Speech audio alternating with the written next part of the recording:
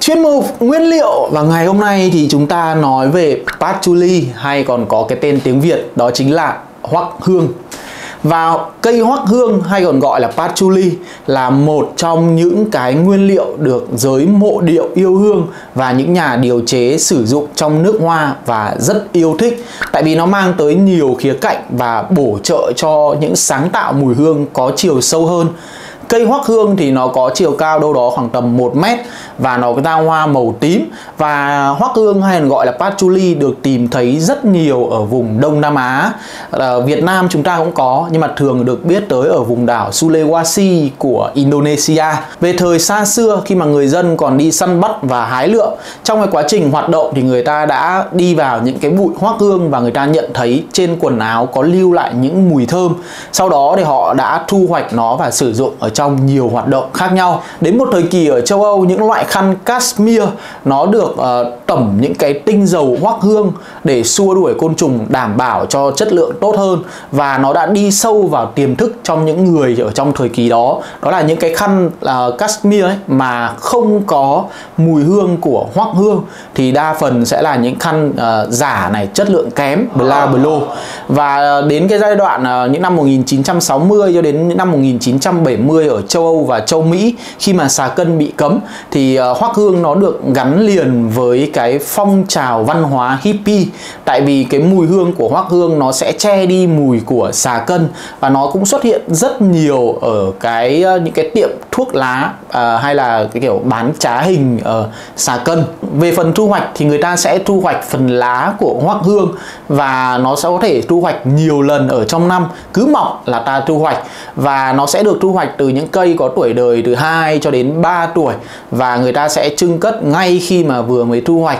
Đặc biệt là ngà tinh dầu hoắc hương chất lượng tốt thì thường là những cái lá tươi khi mà vừa mới thu hoạch xong thì người ta sẽ có những cái đồn điền, những cái nhà máy ngay sát những cái nơi trồng để có thể thu hoạch. Và một cái điều khá hay ho về tinh dầu hoắc hương đó là khi mà càng để lâu bảo quản tốt thì chất lượng tinh dầu lại càng tốt hơn ở trong ngành điều chế mùi hương thì tinh dầu hoắc hương không thôi cũng đã được coi là một loại nước hoa. Nó mang tới một cái mùi gỗ có phần xanh và hơi kiểu rêu và nó mang tới những cái khía cạnh như là mùi đất rất là rõ rệt. Ngoài ra nó tạo chiều sâu và mang tới một cái cảm giác bí ẩn và ở trong cái uh, tinh dầu hoắc hương ấy thì nhiều người còn mô tả nó có một chút hơi kiểu cay của gia vị mùi của chocolate sô cô la đắng đắng phải mất đến 50 kg nguyên liệu thô mới có thể cho ra một kg tinh dầu và thường nó mất cái thời gian trưng cất khoảng tầm 8 đến 12 giờ. Ngày nay thì hoắc hương được cung cấp chủ yếu đến từ Indonesia như mình đã nói ở trên nhưng mà nó cũng đang gặp khá nhiều những cái vấn đề khi mà cái cách thức trồng đã đảm bảo cái vấn đề về thổ nhưỡng đất đai phục vụ cho cái tinh dầu hoắc hương có chất lượng tốt và bên cạnh đó ấy, thì cái lợi nhuận từ cái việc mà trồng hoắc hương nó cũng đang là một cái yếu tố khá là lăn tăn nên là nhiều người dân người ta đang có xu hướng là không trồng hoắc hương nữa mà chuyển sang trồng những cái cây công nghiệp khác có cái thời gian thu hoạch ngắn hơn và cái ờ, tài chính thu lại được tốt hơn và nó cũng làm ảnh hưởng tới chất lượng tinh dầu rất là nhiều. Cái này thì mình sẽ dẫn chứng cho các bạn một vài cái bài viết ở trên Fakentica hay là những uh, gọi là group nói riêng về patchouli hoắc hương ở Indonesia.